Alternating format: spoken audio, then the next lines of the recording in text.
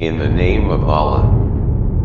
He who can only be compared to nothing. He who speaks, and it is. O Christians, stop worshipping the son of Amun. Amun's hidden societies, have rewritten the scriptures. They incited you to worship Dajjal. It can be read in your book, that Isa would have said, that he is the Amun, and the capstone.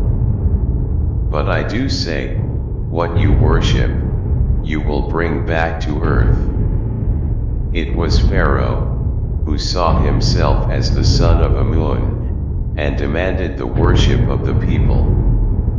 The Dajjal demands the same from you.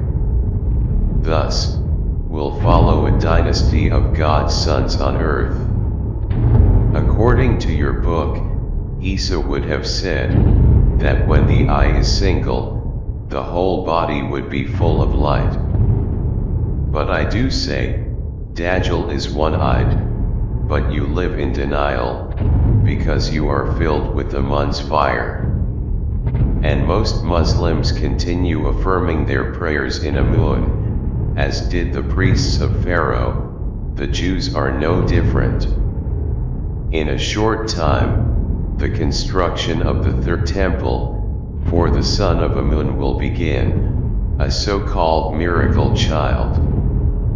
Arab leaders have made deals secretly, the door is ajar, while Al Saud misleads the Muslims with tall buildings, and a Dajjal hatch.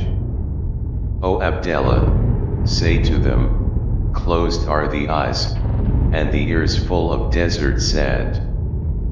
This generation perish in stubbornness, they are like temples of self-made images, for which they want Allah to bow, they are worse than the people of Lut. Only Allah can be compared with nothing.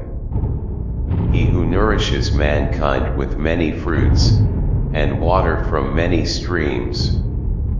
And only from Allah is the beginning, the return, and the end.